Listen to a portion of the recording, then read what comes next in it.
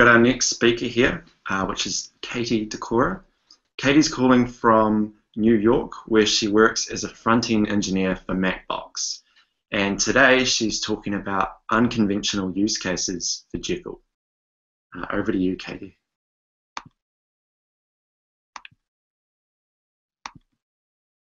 Hi.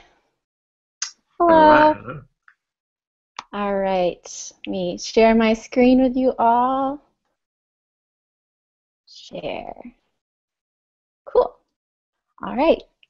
So like my like Mike just said, I'm going to be talking about unconventional use cases for Jekyll. And to start, hi, I'm Katy DeCorah.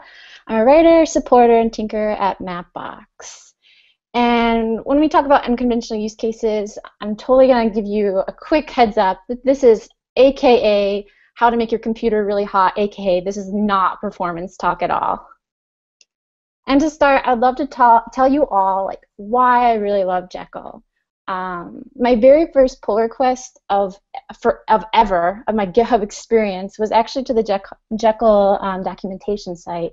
And it was something super super small. It was like a tiny typo, and I was really nervous to create my first pull request. Um, but I did, and the maintainer I don't remember who you who you are, but you I remember you sent me a Jekyll emoji or emoji heart, and that made me feel so good and welcome to the community. And then from there, I just started blogging a ton, talking about my, my CodePen and my Jekyll experiments because I was looking for a new job. And then I ended up getting recruited by Mapbox, and now I get to use Map, uh, Jekyll every day at Mapbox. And so that's why I really love Jekyll, um, among other reasons. And so when I'm creating projects, people often ask me, okay, why are you always choosing Jekyll? And besides obviously loving it so much, I have a couple of more, you know, more concrete reasons why I love Jekyll so much.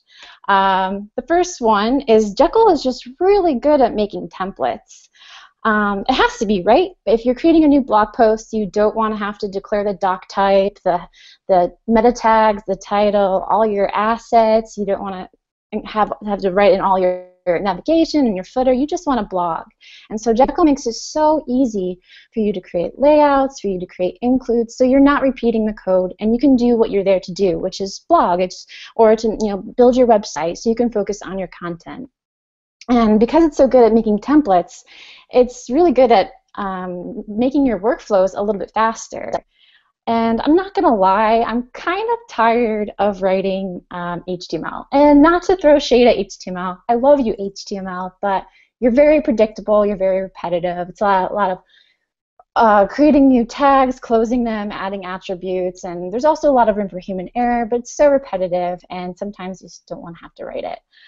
And so, um, so it kind of brings me on my little mission that I've started. It's that yeah, sure. I could write something by hand and that would take me 20 minutes, but I could probably make something in Jekyll. I could work on it for an hour with a lot of logic and make something that's really smart.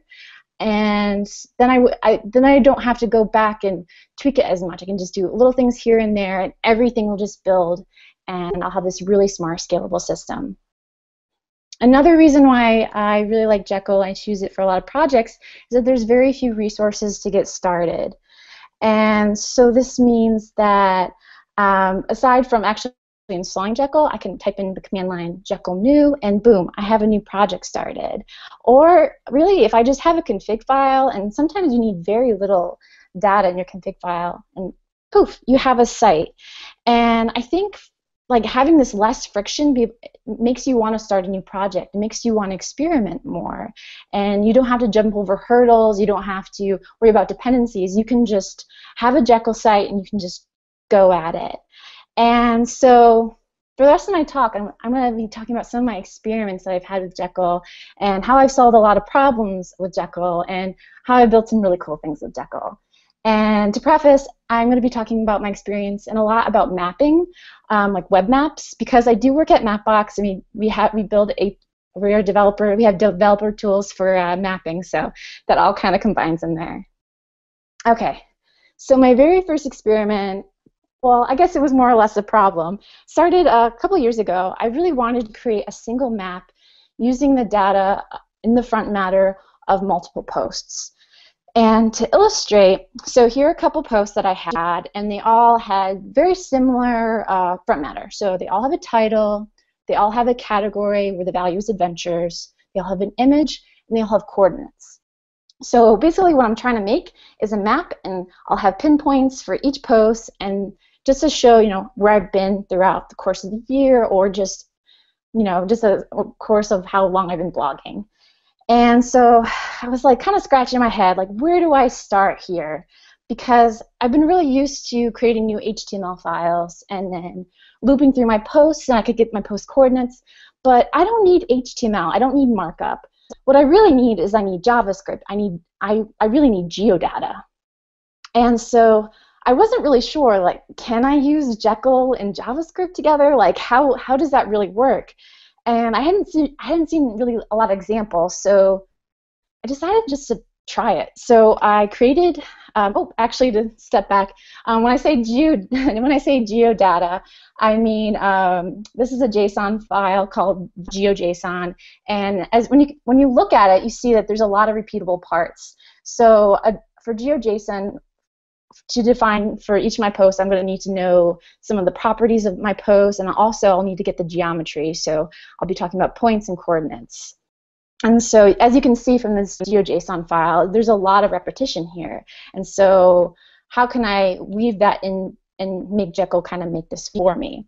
So, jumping back to what I was going before, I decided to create a new JavaScript file. And then I dropped in those six hyphens that kind of tell Jekyll, hey, I want you to do stuff in here. And then I started to add some front matter. So I just added a title, just anything, just kind of my, um, you know, hello world. And I wanted to see if Jekyll will evaluate a, a JavaScript file. So I nervously hit serve, it compiled, and I opened it up, and oh my gosh, it worked. It totally worked and it was just so exciting. But I mean, okay, why wouldn't work? It's worked in Jekyll works in Markdown files. It works in HTML files. So why not? Why not JavaScript files? But oh well. I still consider this a big success for myself at this point. Um, so I kept pushing forward. And so I decided to create a variable called data. And this is where I'm going to store my GeoJSON, that file format I just showed you a couple slides ago. And basically, I, I used um, some of that as a template. And I decided I'm going to loop through all my posts, but only where the category equals adventures. And then I am creating a feature for each one. I'm describing the title, I'm adding a description, and I'm adding the URL to link to the post. And then, of course, I need that geometry so Mapbox knows how to put it on the map. And I'm using it. There'll be points, and here's the coordinates. And so when I put that through and I serve it up, I get this really beautiful GeoJSON file. And I see I have three features, one for each post, and all the data is in there nice and tidy. And then using Mapbox, Mapbox.js actually in this point, um, for this for this demo, I use Mapbox.js. It's a JavaScript library that we have. Um, I was able to put on each of those points on the map. And the really cool thing here is that when I add a new blog post, it automatically drops a new point on my map. So I don't have to touch that code ever again. And I can they just keep adding and adding and adding, which is a really cool feature to have. And so after creating this little project, I started thinking like, what else can I do with this? Like now that I know that I can bring Jekyll kind of anywhere in my site, where else can I take it? So um, about a year ago, I came across a map that looks a lot like this.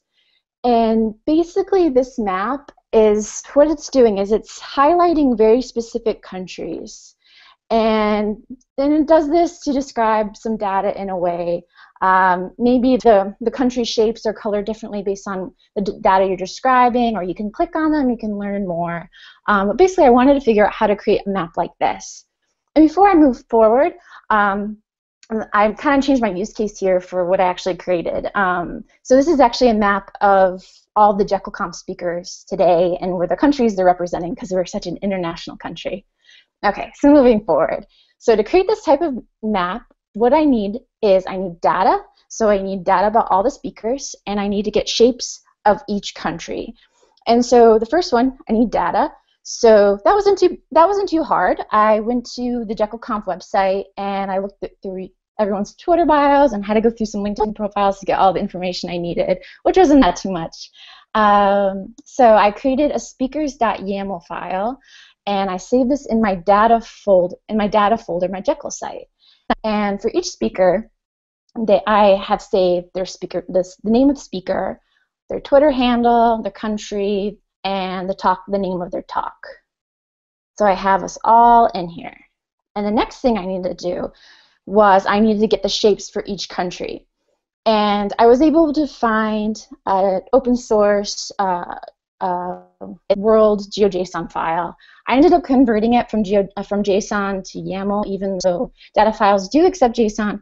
The file was just really big, so I had to condense it down and remove some of the some of the metadata, so it would, would uh, serve a little a little bit faster.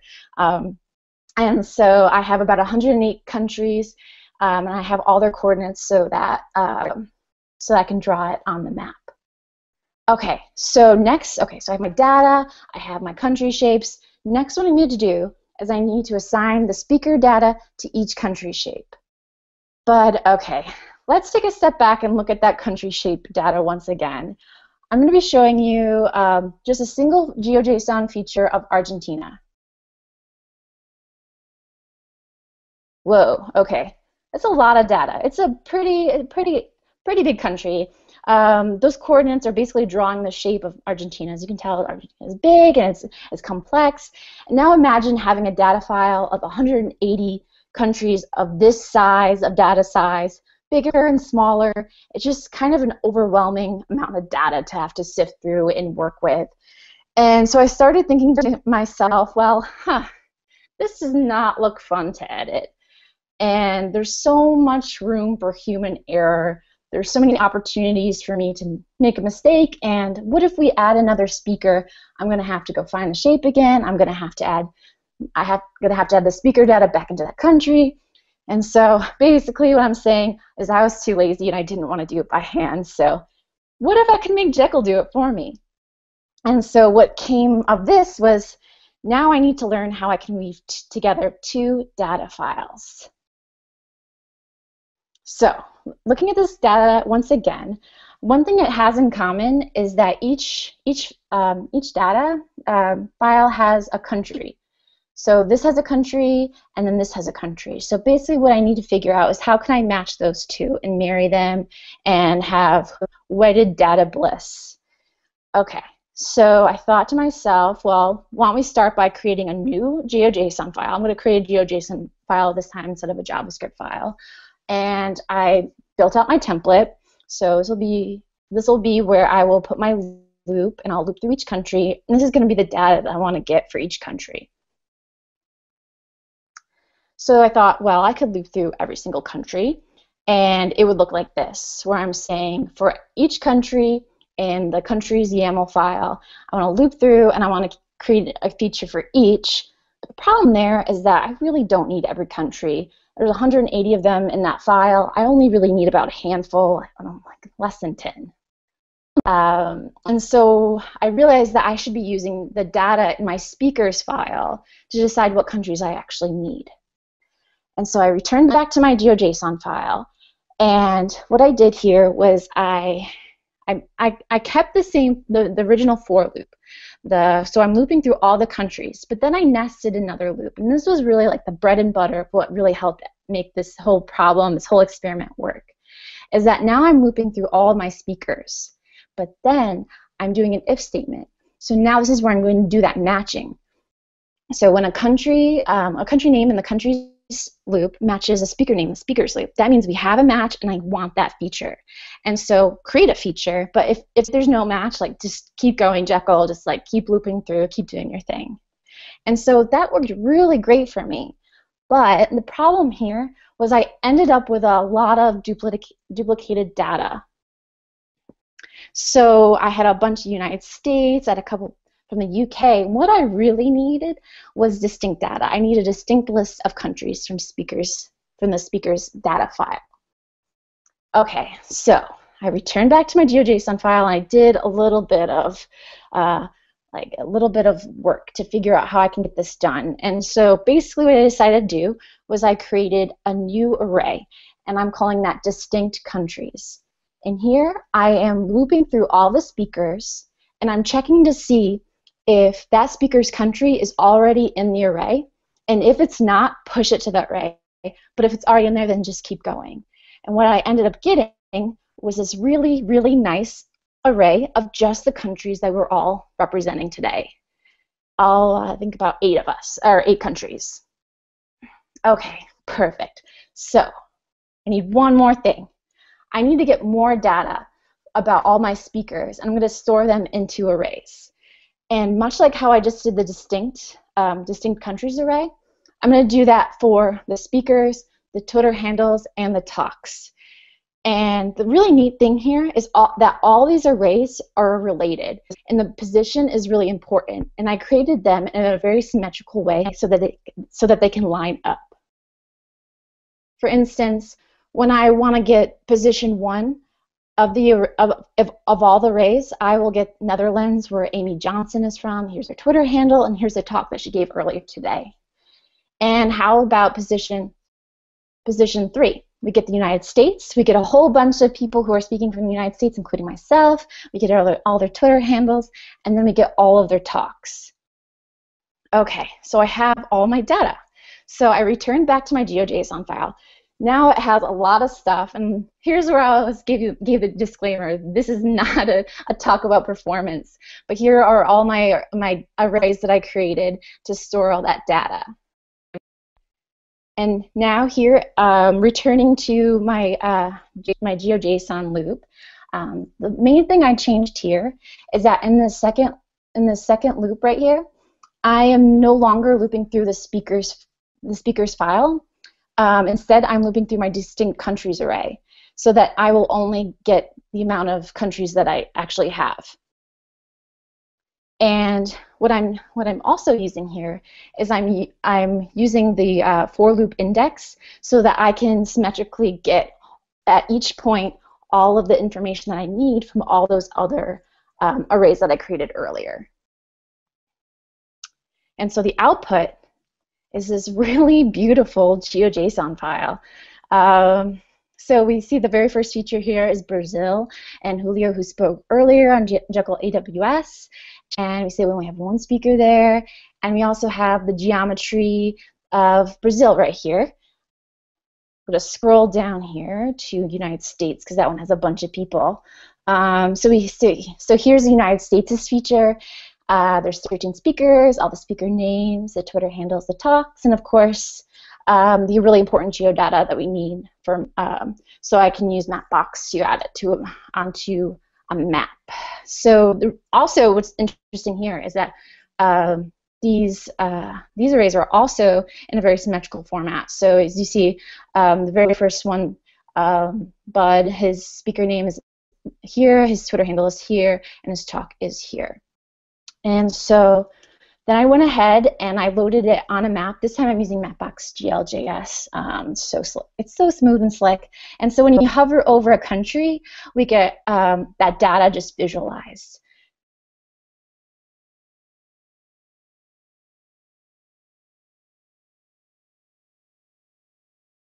And Mike, I think I accidentally put you in the United States, so I'm sorry that I uprooted you. Um, but uh, so the other neat thing is when you hover over here, it can link to their Twitter. And I'm also uh, using another um, API in here. It's called avatars.io. So I, am actually using um, the, the Twitter handle array that I have. It's also interfacing with another API to pull, pull in the images here. Uh, I did that really quick this morning. So you're probably wondering, wow, why did you go through all that work, all those loops, just to get a map like this? Um, well, let me remind you that if I need to make updates, I only have to touch this file. I do not have to touch any of the other code. I don't have to touch the country's data file. I only have to come here. So for instance, if we decided to add another speaker, say they're from Iceland, all I have to do is add their new item, you know, add the, the data that I needed for each, like their speaker name, their Twitter, their country, and their talk, save it, Jekyll will serve, Jekyll will go run through all those loops. It'll grab the country, the new, you know, Iceland geometry. It'll weave together the data, and it'll automatically add it to my map for me. And same thing about if I need to update someone's country. Um, all I would need to do is edit it here, hit save. Jekyll will serve. It'll run through those loops I created, and boom, it's already done. So kind of created this really neat little scalable solution here. So one also thing that's another thing that's neat is I can write about the data and I can create a narrative that is very seamless. So I can ask how many speakers are at JekyllConf and how many countries are represented. And I can find out JekyllConf has 22 speakers from eight countries. And this is what it actually looks like, the raw version. So I'm using a lot of that data, the a lot of that data and the variables I had used earlier to make the map. I can also find out which country has the most speakers and it is the United States. They have the most speakers this year with 13. And here's what the raw version looks like. Got a little small. Um, and here I'm using some of the data that I used before. I also created a new variable where I was able to figure out uh, which country had the, the had the largest size speakers. I grabbed that index and I was able to evaluate it again using distinct countries. So what other data can I weave in here? And so this is where I kind of had fun playing around. So I ended up finding some data about time zones, and I created another data file called time zones. Um, and some of them were a little bit tricky because some countries are you know very big and have multiple, so I just kind of met in the middle. Um, but for instance, like I can find out right now that the hour is 2100 for Ire in Nigeria. Um, I also played around and played around and I need this a little bit more semantic, and so it's breakfast time in New, in New Zealand for George, and in France it's late night snack time. So Tim, I hope you're enjoying a late night snack. Um, and then I also got some bird data too. I found out all the national birds, and I created a bird YAML file, so we can find out New Zealand's national bird is a kiwi. Um, so, you know, some of this is kind of silly um, and unconventional, but I, it's, I just want to get your way, your your brain thinking of some of the fun ways you can use this. And there's a lot of conventional ways you can. Just thinking about um, like how many blog posts have a uh, have a particular tag, or what topics you talk about a lot, or even like which what domains do you link to the most? There are so many conventional ways you can play with your data. And really, there's so much you can find about your site, um, whether you're just blogging or you're, you have a, a, a, consumer product. And there are also so many problems that you can solve with Jekyll, and you can create really amazing scalable solutions. Um, and I highly recommend if you're new to Jekyll or if you're new to tinkering with Jekyll, I highly rec recommend reading all the Jekyll documentation, especially um, brushing up on Liquid. Um, there's so many amazing filters that can really help you build really, really cool systems. I also recommend experimenting as much as possible, even if you don't think it's going to work, or even if you think a device, a convention, go for it. I mean, all it's really going to cost you is a couple seconds of Jekyll serving, right? And I also highly recommend searching. Um, the really cool thing about Jekyll being um, for bloggers is that um, the people developing it are going to blog about what they're building. And so I highly recommend just seeing what other people are building because a lot of people have been writing about it. And finally, um, if you ever figure out something really cool and you have an aha moment, please, please, please write about it. We all want to know what you're working on. Okay, thank you so much. Um, you're welcome to find me on Twitter. You can see my slides, and I also have my GitHub repo, which has my slides as well, and has all those demos and all that data file and all those crazy loops that I created for today. Fantastic. Um, I think we need to update the JekyllConf website and get some some maps on there of the speakers. Um, yeah, that was that was a really great use case using JekyllConf. Um, so thanks for that. Yeah, no problem. Um, yeah, we have a few questions here. Um, so the first one is, I know it's a fairly simple um, website with, no, well, there's not a lot of speakers at the moment, but what is the build time of that site at the moment? Yeah, let me see. Um, 2.5 seconds. Okay. It's, it's not uh, bad. It's not yeah. terrible. It's pretty good. Yeah. Um, yeah, and I guess there would be, yeah, there might be ways of optimizing that as well. I Um, think so too. Yeah, I was trying. I was trying to think the um, incremental regeneration probably wouldn't be too much help because it's going to have to cycle through all those loops anyway. Right. I guess um, it depends on what you've changed too, as well. Yeah, yeah, that's true. Um, so the second question is, um, you had some code um, that was doing a split um, to create an empty array. Um, so it's a two-part question. Like, why did you need to do that, and how does that work? Oh, that's a really good question. To be, to, be completely honest, um, I wasn't sure how to create my own array, and so from some googling uh, and some searching, that's what I found was a really good convention, and and and what it did was it was able was able to put it in was was able to create my array for me. Um, I don't know if I can speak more exactly to the the technique that I used there, but it was a lot of from search. Yeah, yeah, no thanks. Um, yeah, and the final question. Um, oh, let me think. Oh, yeah. Do you want to just talk about some of the other Jekyll use cases you've been working on? Oh, yeah, sure. So one really goofy one that I created recently is called Emoji Frame. Um, I can tweet out a link. It's kdecor.com slash emoji frame. And so I was, it's kind of a meme that I, that didn't really take off very far at Mapbox, where you can type in some words and you can put a, literally a, an emoji frame around your words and copy and paste it into Slack or GitHub.